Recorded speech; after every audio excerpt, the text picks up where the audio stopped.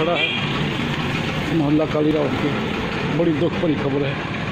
Gagandeep कालीराव social worker जो बहुत ही ਉੱਗੇ ਹਨ ਉਹਨਾਂ ਦੇ ਫਾਦਰ ਕੁਛ ਚਿਰ ਪਹਿਲਾਂ ਅਕਾਲ ਚਲਾਣਾ ਕਰ ਗਏ ਬਹੁਤ ਲੋਕੀ ਇਸ ਮੌਕੇ ਤੇ ਅਫਸੋਸ ਕਰਨ ਆ ਰਹੇ ਨੇ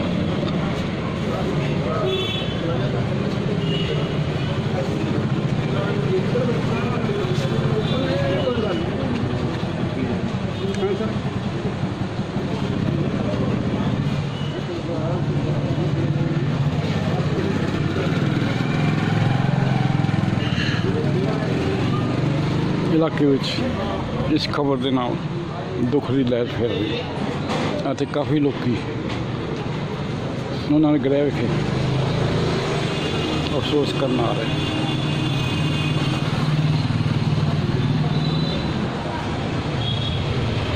ਸੰਸਕਾਰ ਦਾ ਸਮਾਂ। ਹਾਲੇ ਪਤਾ ਨਹੀਂ ਚੱਲ ਚੁੱਕਿਆ।